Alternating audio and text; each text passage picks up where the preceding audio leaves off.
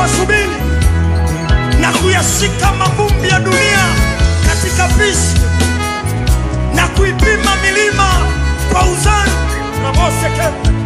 na vilima kama kwa mizani.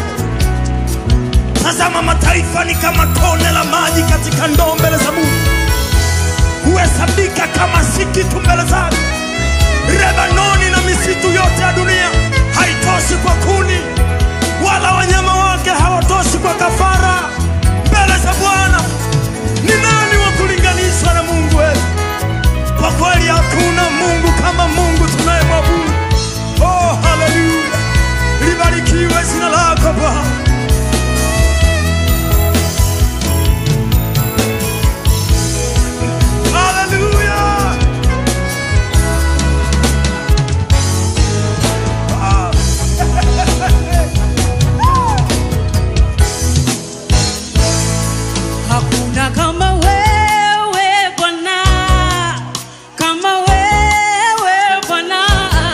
Una kama